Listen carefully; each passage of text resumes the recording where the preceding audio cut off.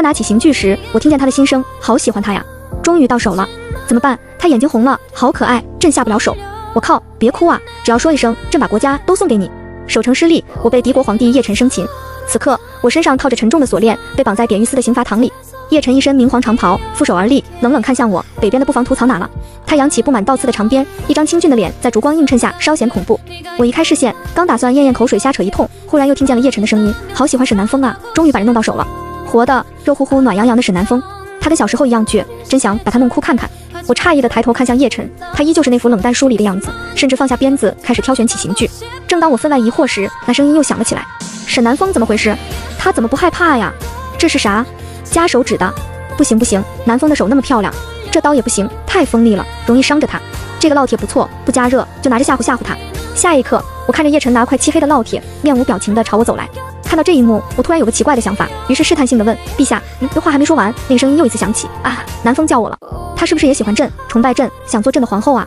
我清了清嗓子，打断这聒噪的声音，继续说：“陛下，你要杀要剐随便吧。”叶辰的声音停顿一下，又一次翻涌而来：“杀！朕杀了你以后就要守寡了，你求求朕啊，你撒个娇啊，要不你说以身相许也成啊？”我看着叶辰紧紧抿住的双唇，终于确定，我可以听见他的心声。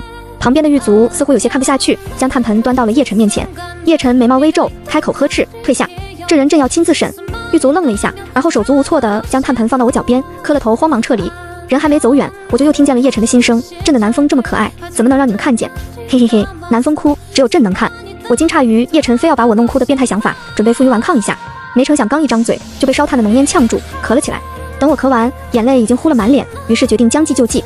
我带着哭腔，可怜巴巴地喊：“陛下。”臣是玄月国的将军，若是卖国，以后就没了容身之处。叶辰手里的烙铁掉在地下，发出一声清脆的声响，接连而来的是他内心的怒吼：怎么办？他眼睛红了，好可爱，朕下不去手啊！朕是畜生，朕怎么可以吓唬他？叶辰撩了下长袍，猛地转头离开刑罚堂，临走时还不忘维持皇帝颜面。沈南风，朕给你几日时间，好好思索思索，要不要投靠我北冥？可他心里明明想着，破玄月有什么可留恋？看在小时候的份上，朕给你锦衣玉食、金银珠宝，让你一辈子无忧无虑。嫁给朕，只要你说一声，朕把国家都给你。我跟叶辰年幼时见过，怎么一点印象都没有？我想不通的问题不止这一个。叶辰将我一个俘虏安置在了坤宁宫，那可是皇后住的宫殿啊。虽然我不知道为什么他对我有好感，但安排在这儿是不是有些不妥呀？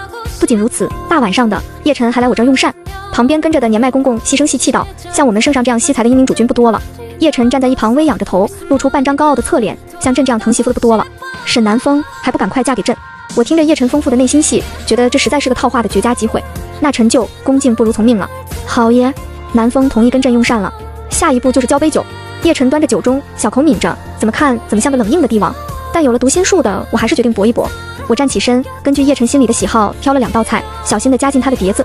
公公的惊声尖叫和叶辰的心声贴在一起。你什么身份？敢给圣上布菜？啊呀！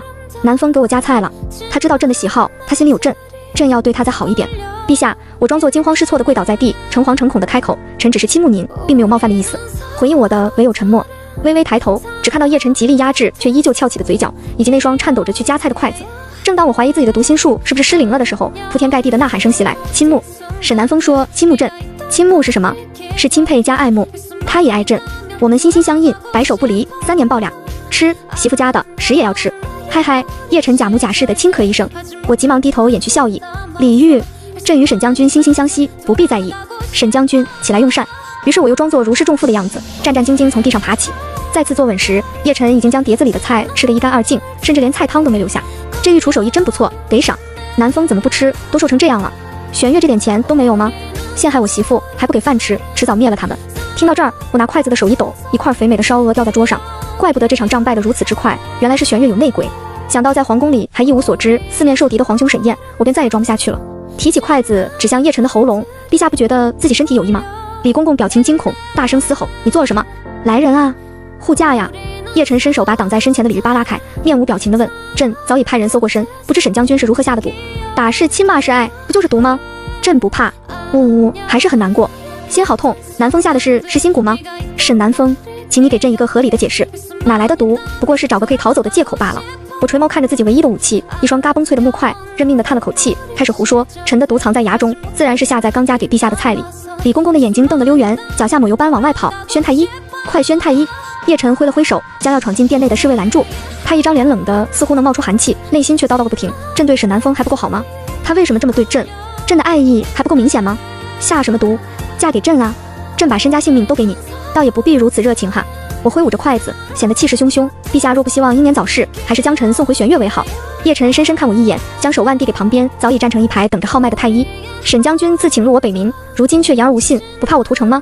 边城被迫，我独身一人前往北冥，换取城内百姓平安。若没有这读心术，我大概早已妥协。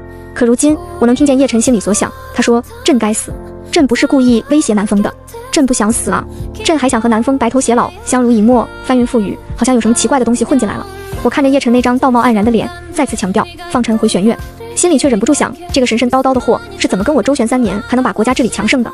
陛下，老臣无能，诊不出这是什么毒。臣无能。太医们哗啦啦跪成一片，战战兢兢地伏在地面上，大气不敢出。只有叶晨的心声在殿内盘旋：老子不想死啊！这帮废物，让你们去刷公桶，天天熬的药还不如公桶好闻呢。朕还没娶到沈南风呢，朕要活着，活着。看到叶晨如此强烈的求生欲，我趁机勒索：臣自小在药王谷长大。这毒常人自然诊断不出，陛下还是放臣走，再将边城交还于玄月，不然等您死了，我麒麟军可不会留情。叶晨的眉头紧皱，仿佛在做什么痛苦的决定，可内心却没有任何声音。我一颗心提到嗓子眼，紧紧盯着叶晨的双眼。半晌，他猛地站起：“沈将军这幼稚把戏还想瞒过朕？来人，把宫门封死，看好沈将军。”话音落，叶晨慢条斯理地整理好衣袍，带着工人浩浩荡荡地离开。沈南风这小东西还想蒙我？小时候连砖头和馒头都分不清，还下毒，怎么办？不舍得打，不舍得骂，关起来又见不到他。啊啊啊！烦死了！叶晨的声音越来越远，等我缓过神，就只剩下一片明黄的衣角。小时候我生过一场大病，醒来时丢了记忆，是沈燕将我捡回府，教我读书习武，跟我以兄妹相称。或许那段丢失的童年可以从叶晨那觅得踪迹，当然这不算太重要，重要的是我得赶快把玄月有内奸的消息告诉皇兄。于是大半夜，我拿出一块藏起来的米饼，开始敲窗户。这玩意儿我用晚膳的时候就发现了，咬半天咬不动，比我命还硬，连磨带踹，半个时辰我就从坤宁宫后窗挤出来了。除了我本人英勇睿智外，此等神器也是功不可没。北冥皇宫修缮的没有玄月大气恢宏，尤其宫墙矮了不止三成。我一个助跑，纵身一跃就挂在坤宁宫的墙头上了。至此，我的逃跑之路都十分顺利。可就在此时，我听见了叶晨的声音，不知道南风睡了没，梦里会不会有朕？他应该会喜欢朕准备的象牙席、金丝被、翡翠枕、珍珠冠，这还不得爱死朕？为了隐蔽行踪，我没敢把脑袋探出去，准备等叶晨离开后再翻墙。谁成想，他的声音竟离我愈发近了。朕是君子，怎么能夜闯女子闺房？朕的皇宫进去看看怎么了？就看一眼，看一眼，最多两眼、三眼吧，没关系，只要不眨眼，朕可以一直看。堂堂北冥皇帝，内心竟然住着一个碎嘴子，我服了，我真的服了。能不能少说两句？我坚持不住了。老天有眼，叶晨的声音真的消失了。酸痛的小臂发力，我把脑袋探出墙头，结果正正好好对上叶晨那张帅脸。啊啊啊啊！这下我是真没分清，叶晨这声尖叫是憋在了心里，还是喊在了嘴上？因为他手一滑，人已经从宫墙上跌落，摔了个狗吃屎。朕是不是丢人了？朕光辉伟岸的形象啊！朕要不趴在这儿再装死吧？很好，朕太聪慧了，南风肯定会心疼朕，照顾朕，跟朕日久生情，喜结连理。不好意思，在下并没有这个打算哈。在叶晨愣神的这会功夫里，我已经从墙上跳下，正准备趁夜黑风高离开时，小腿被人抱住了。我低头望去，只见叶晨正微抬着头，露出个小狗般可怜巴巴的神情。记忆里某些被掩埋的画面突然翻涌而来，一望无际的草地上有个摔倒的小男孩，也是这样看着我。沈将军，叶晨哑着嗓子喊：“嗯。”我吓了一跳，下意识的答：“你踩着镇手了。”我的逃跑大计最终以失败告终，因为我跟叶晨搞的动静有点大，被巡夜的侍卫抓了正着。叶晨已经爬起，站得笔直，高傲的抬头看向天空。朕睡不着，叫沈将军一起赏月。朕果然十分聪慧，朕又救了沈南风一次，他会不会以身相许？他是不是忘了小时候说要嫁给朕？我跟着侍卫一起抬头望天，除了两坨乌云，啥也没有，哪里来的赏月？叶晨约莫是怕我逃跑，上朝时派来不少人将坤宁宫围了个水泄不通。下朝后，他竟然直接带着奏折来到了我这儿。这帮老头不就是不选妃吗？不就是让南风住坤宁宫吗？朕乐意，朕乐意，朕就是要把最好的都给沈南风，让他爱上朕，让他非朕不可。他面上认认真真的批着奏折，心里把那些朝臣骂了三百多遍。我悄悄溜到宫门口，跟站岗的侍卫聊天：“大兄弟，听说陛下有几只名贵的兰鸽，不知能否有幸一观啊？”他轻蔑地瞥我一眼：“你个战俘，有什么资格提要求？玩忽职守，下去领罚。”叶晨低沉的声音在我耳边炸开。看着侍卫灰溜溜离开的背影，我微微勾起嘴角。本来这话就是说给叶晨听的。南风喜欢鸽子，朕有啊，都拿过来，迷死他！也不能都拿，万一他爱上鸽子不爱朕了呢？叶晨顿了顿，偏头吩咐李煜去拿只蓝鸽来。这种鸽子以聪慧闻名，不仅识途，据说肉质也十分鲜嫩。我低头摆弄着他腿上的小竹筒，想把昨夜偷偷写的密信塞进去，可叶晨总是盯着我。南风有了鸽子就不要朕了。他笑了，好可爱，好可爱。他竟然冲鸽子笑，朕还不如一只鸽子吗？叶晨气得在屋里来回踱步。我趁机将叠好的纸条放进竹筒，刚把鸽子放飞，叶晨立马拔出屋中佩剑，将鸽子捅了个对穿。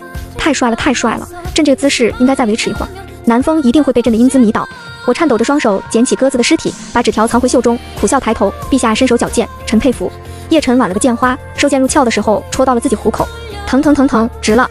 为了让南风爱上朕，值了。他刚才是不是夸朕了？朕爱听，能不能再来一遍？李公公一脸肉疼地接过兰哥的遗体，看向叶晨，陛下，这鸽子自然是炖了，晚膳时盛上来便可。朕惦记这鸽子很久了。南风果然是朕的福星，都给南风吃，他太瘦了，朕喝汤就行。嘿嘿嘿，又能跟南风吃饭了，大概是为了配鸽子汤，晚上的菜那叫一个丰盛。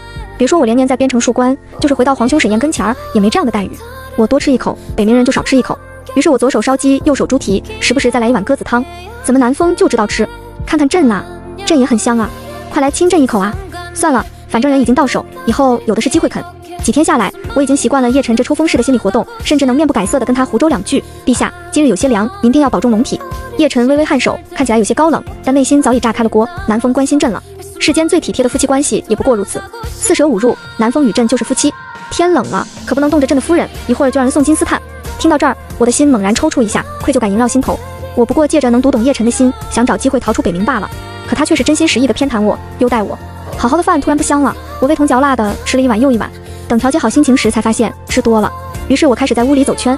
叶晨并没有参与我饭后走一走的活动，他刚用完膳，就将宫女侍卫们都安排到了殿外，还让他们牢牢守住坤宁宫每一个出入口。他自己也没逗留，而是一边在心里絮叨着，一边快步离开。朕知道南风这孩子打小就喜静，这才把人都撤走。朕真是太贴心了。昨天南风跑，竟然想逃跑，不可以，朕不能再把他弄丢了。都怪那些大臣，非说朕与理不合，要不朕怕坏了南风名声，朕今晚就睡坤宁宫。叶辰人刚走了不过一盏茶。金丝炭、手炉、锦鼠被等上好的取暖物件，就流水般抬进了殿里。众人急匆匆来，急匆匆去。顷刻间，屋内只剩几个飘着青烟的暖炉。我撑着下巴挨到了三更半夜。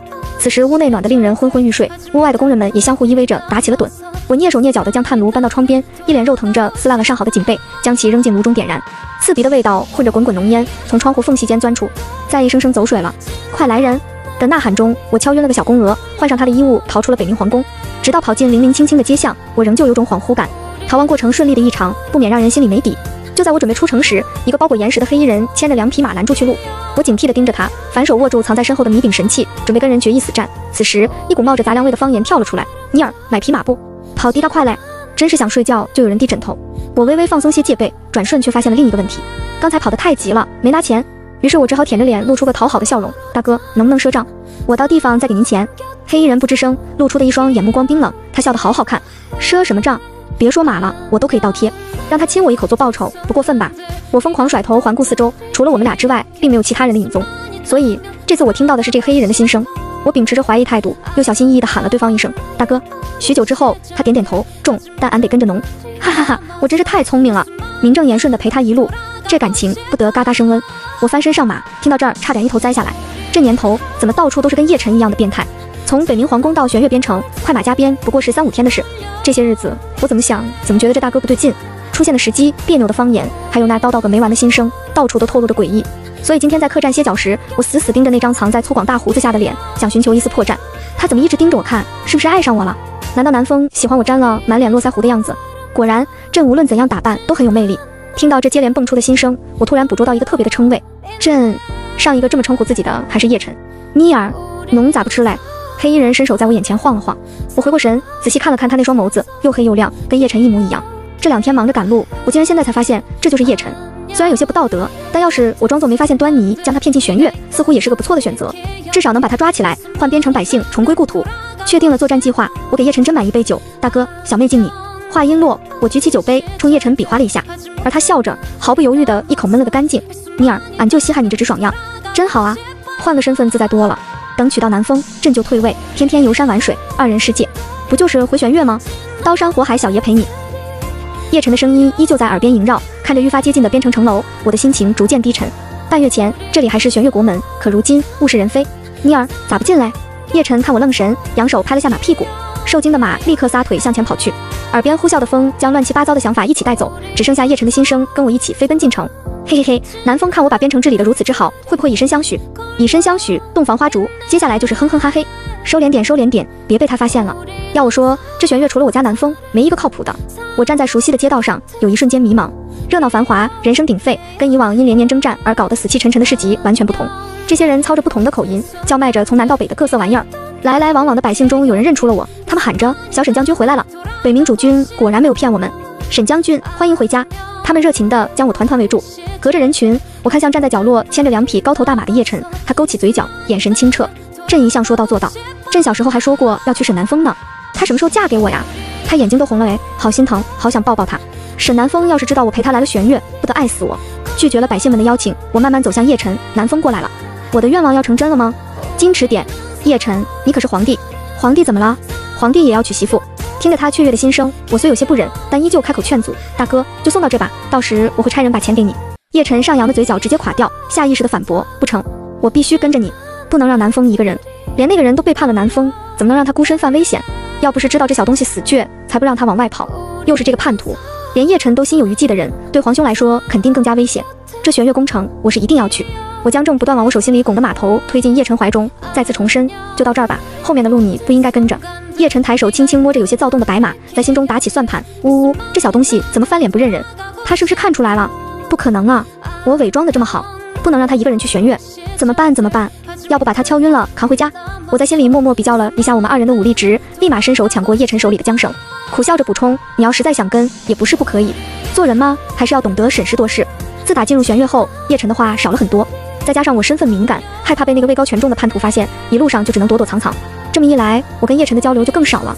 直到这天，叶晨不知从哪搞来一只香喷喷的烧鸡，我这才又一次听到他的心声。南风已经三天没有理我了。沈南风，劝你快来哄哄我，不然我我会伤心的呀。看着有些颓废的叶晨，我撕下一个鸡腿递到他面前。大哥，这些日子赶路辛苦了。叶晨眼睛放光的接过，嘴角几乎咧到了耳根。不辛苦，有这么好看的姑娘陪着，值了。啊呀，我怎么把心里话说出来了？南风不会觉得我是登徒子，不要我了吧？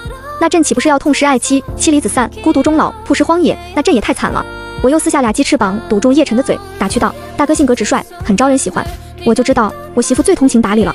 南风是不是已经被我迷倒，正在我两个身份间徘徊犹豫？他会不会正在为我吃，为我狂，为我哐哐撞大墙？妮儿，侬真有眼光。”叶晨一边说，一边把油腻腻的鸡翅膀塞进了自己那个极其名贵的云锦荷包中。我刚想吐槽他过于抠门，就听见他在心里说：“这不是鸡翅，这是南风对我的暗示。”南风肯定想说，愿意跟我做比翼鸟，做连理枝。这样珍贵的定情信物得好好保管，等回北冥给那些说我们家南风对我不好的朝臣看看。朕还要叫人把这对翅膀写进史册。我撕下最后一个鸡腿，还有一个鸡头，递给叶晨吃吧，吃完好赶路，顺便补补脑。又是几日奔波，我与叶晨终于到了上京城外。他牵着马站在我身后。南风能不能不要去呀？玄月皇室没一个好东西，别去了。算了，谁让朕宠着你呢？想去便去，我护着你。我回头冲他笑笑，捏了捏藏着的兵符，走进了繁华热闹的上京。今天似乎有贵人结亲，几条主街上都铺了大红的毯子，丝竹声远远飘来，透着欢喜。我随手拦下了大爷，老先生，今日是谁家娶亲啊？他一脸惊诧地看着我，这你都不知道？今日可是麒麟军主帅陈瑞妹妹的册封大典，这姑娘真有福气，兄长被提拔不说，还成了一国之母。大爷捋着胡子，摇头晃脑地走了，徒留我一人愣在原地。麒麟军由我一手带出，陈瑞这人我更是熟得不得了。他虽有个丞相爹，但脑子不算灵光，怎么也轮不到他做将领。况且他妹妹陈轩似乎早有心仪之人，前两年刚中了秀才，该不会陈氏父子就是叛徒？二人打算架空皇兄，又或是想师弟夺权？尼尔，侬打算上哪去呀？叶晨凑上前，又用那口不知从哪学来的方言向我发问。我的思绪早已凝成一团乱麻，唯一还算清醒的想法是，叶晨他不该卷进来。我伸手撕下叶晨那本就摇摇欲坠的假络腮胡，一抹红痕在他白净的脸上更显艳丽。别装了，叶晨，趁我没喊人把你抓起来，赶紧走。他盯着我，眼睛蒙上一层薄薄的水雾。沈南风，你要不要这么绝情？你以为沈燕是什么好东西吗？我劝你长点心，快快挽留我，我可以原谅你一次。呜呜，好难过，好想哭，连狠话都说不出来了。叶晨果然什么话都没说，只是发狠地揉了揉眼睛，便甩袖离开。没了叶晨，一个人翻墙头还是有点寂寞。即使找到了之前藏好的兵符，但我最终还是选择了这样简单粗暴的方式进入皇宫。宫里每个角落都透着喜庆的氛围，可按日子算，若不是遇到叶晨，今日应是我死后的第四十九天。我的义兄沈燕在本该给我入殓祭祀的日子册封了皇后。被百姓们津津乐道的册封大典，比我想象中简短得多。不过未时，皇兄沈燕就出现在了御书房中。他穿着玄色长袍，上面绣着九条金龙，衬得人愈发疏离冷漠。看到我后，沈燕一贯古井无波的脸上多了些慌乱。南风，你竟然还活着？是啊，皇兄，我回来了。我边答边捏起一块点心塞进嘴里。大概是被叶晨养刁了，我竟然觉得这玩意儿一点都不好吃。沈燕快步走来，攥住我的手，你能回来，朕自然是高兴。不知妹妹从北冥那儿得了什么消息没？沈燕的手很凉，不知为何，那股凉意从手心起，一直往我心里钻。封后大典很顺利，沈燕也不像是被威胁了的样子。事情的发展跟我想象中完全不同。若一切只是我的臆想，那我私闯皇宫岂不是死罪？想到这儿，我用力将手抽出，端端正正地跪在沈燕脚边。陛下，麒麟军中恐有逆贼，您还是……话音未落，沈燕猛地站起，抬脚踹在了我的心口。我没设防，自然被这结结实实的一脚踹翻在地。等我爬起时，沈燕不知从哪掏出把匕首，直直向我喉咙刺来。万般无奈下，我只得伸手握住。他暗自用力，难得露出了个讥讽的笑。沈南风，朕为了除掉你，不惜让陈瑞将边城送给北冥。可你怎么还没死啊？刀锋没入皮肉，鲜血顺着刀尖一滴滴落在我的脸上。事已至此，我这才明白，惦念这份兄妹情的，从始至终只我一人。路上这么多天，我并非全无准备，只不过原本为了救沈燕才集结的军队，如今成了我的保命符。听着远处传来兵戎互击的声音，我更加用力地握住匕首，咬着后槽牙威胁沈燕：陛下，兵符还在我手上，你猜现在城外有多少麒麟军？你听，他们此时正打着清君侧的名义开始闯宫呢。沈燕终是被我唬住，她面无表情地收起刀，用帕子擦拭着手上的血。沈南风，看在兄妹一场的份上，朕给你两个选择，要么入宫为妃，要么飞你奶奶个腿！屋外一声怒吼打断了沈燕的话。御书房的大门被人推开，与血腥味一起窜进来的是叶晨。此刻他褪去伪装，露出原本清俊面容，一身月白色的长袍，干干净净。叶晨将我拉到身后，撕下夹衣替我包扎着伤口，还不忘对沈燕喊：“老子捧在手心的人，让你搓磨成这样，要不是南风不舍得伤你，看我削不削你就完了。”沈燕背后的一愣，大喊着：“来人，来人！”宫内的侍卫不知到了何处，唯有一直伺候他的那位高公公连滚带爬的跑进来。陛下，北冥大军压境，已连夺三城，陈氏父子勾结御林军，意图谋反，正在闯宫。沈燕沉默地盯着我与叶晨，唯有高公公跪扑过来，拽住我的衣角：“沈将军，您带陛下走吧，我看到您的麒麟军正在宫外护驾，您与陛下兄妹情深，定能护人周全。”叶晨伸腿将人扒拉开，指着沈燕问：“你看他敢求南风吗？一天天自以为运筹帷幄，聪明绝顶，算计这个算计那个，结果呢，把自己都算计没了吧？连自己妹妹都出卖，活该守不住江山。”我盯着叶晨的侧脸，有些出神，真痛快呀！老子看沈燕不爽很久了，就他还想娶南风，做梦去吧，做梦都不可以。沈燕被叶晨这一串话气懵了，直到陈氏父子的头被扔进店里，才回过神。再次开口时，沈燕的语气中多了几分哀求，她哑着嗓子求我：“南风，朕只是一时糊涂，受奸人蒙骗。”糊涂？我看你脑子是被屎糊住了。如今你也康健，不如朕重新将麒麟军交还于你，如何？沈南风，你不能被他骗了，听见没有？朕发誓，以后绝不会再背叛猜疑你。要不老子心疼媳妇，你这时候黄土都埋脖子根了，还在背叛？我看你在想屁吃。叶晨在心里跟沈燕说起了相声，我听着想笑，又觉得不合时宜。大概是看我神情松动了些，沈燕又打起了感情牌。南风，我们数十年的兄妹情，怎会被这点小误会消磨？这下叶晨忍不住了，你脸咋这大呢？你这妹妹哪骗来的心里没点数吗？还兄妹情，谁家兄长称帝后让妹妹恕官，完事儿又派人家功高震主，不惜自卖一城也要夺人性命。发现自己被人诓骗之后，还想让妹妹进宫为妃，呸！臭不要脸的蠢货！尼尔，侬可千万莫要信他嘞！看着叶晨如此激动，我轻轻捏了捏他的手，让他放心。转头看向沈燕手里的匕首，低声道：“从你拔刀时就该知道，我们往后不可能再有瓜葛了。若有，也只能是仇人。”沈燕似乎不信邪，将匕首如烫手山芋般飞速扔出。沈南风，我可是将重病的你捡回家，教你读书习武。这些话没说完，他胸口突然冒出一个小小的刀尖。沈燕不可置信地回头望去，此时高公公正握着匕首，一脸阴狠。陛下，奴才伺候您多年，不知您是否记得，奴才当年为何净身？是你觉得我沏茶最合心意，不惜灭我高家，还假装施恩诓骗于我。若不是丞相死前告知，我估计还要对您感恩戴德多年。话音落，高公公抽出匕首刺向自己的喉咙，两人身躯接连倒地，发出巨响。玄月没了，叶晨接手了这个烂摊子。他看起来憨憨的，但其实手段比沈燕聪明得多。恩威并施，赏罚分明，短短几日，朝野上下就恢复了秩序。百姓们似乎还没反应过来，江山就易主了。他们该吃吃，该喝喝，甚至因为被减免了赋税，还要夸叶晨一句英明神武。不过这样英明神武的人，现在也开始头疼了。朝堂上两拨大臣你来我往，唇枪舌战。沈南风是玄月余孽，兄长又是沈燕，怎可为后？闭嘴吧你！朕要不是为了南风，连皇帝都不当。沈南风助陛下统一两国，这皇后自然当得起。多说点，多说点，朕爱听。陛下，不如将沈南风封为贵妃如何？一个玄月旧臣自作聪明的上前提议。这下叶晨炸毛了。朕说了，朕要立沈南风为后，不然这皇位你们来坐。大臣们呼啦啦跪了一地，伴随着一声声，臣不敢。叶晨冲藏在屏风后的我悄悄眨了眨眼，我要娶你，明媒正娶。我最终还是成为了叶晨的皇后。那天晚上，他端起酒盅，一张脸涨得通红。啊，南风，南风，我的南风，交杯酒，交杯酒，心心相印，白首不离，洞房花烛，哼哼哈嘿，三年抱俩。听着叶晨的心声，我轻身凑到他耳边，要不要试试这样的交杯酒？看着叶晨有些迷乱的眼，我伸手扯下他的衣带，顺势叼起酒杯递到他的唇边。他微抿了一口，而后挥袖灭了红烛，将我推向柔软的锦被之中。沈南风，我叶晨此生并不负你。那一夜后，我经常做一个梦，梦里是一片宽阔的山谷。有个小男孩摔倒在地，他微微抬头，哭丧着一张小脸。我向他伸出手，快起来，地上凉。自此以后，他每天都会出现在我身边。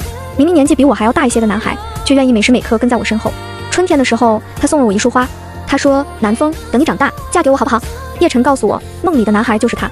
他被送到药王谷学艺时遇见了我，却在偷偷带我出去玩时弄丢了我。我查过，当年沈燕看你身上带着药王谷的锦囊，就动手将抓你回府。他本想着等有人来寻时，你换点好处，未曾想你吓得高烧不退，被大夫断言命不久矣。无奈之下，他找了个跟你差不多的姑娘，活活烧死，假装你意外丧生，这才骗过了药王谷的人。没想到你命大，又正好失了忆。沈燕大概是想着将来还有利用之处，这才留了你一条性命。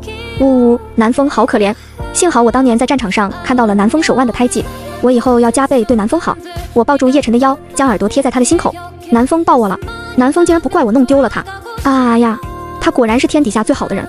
我抬头吻了吻他的下巴，在心里默默回应：叶晨，你也是天底下最好的人。全文完。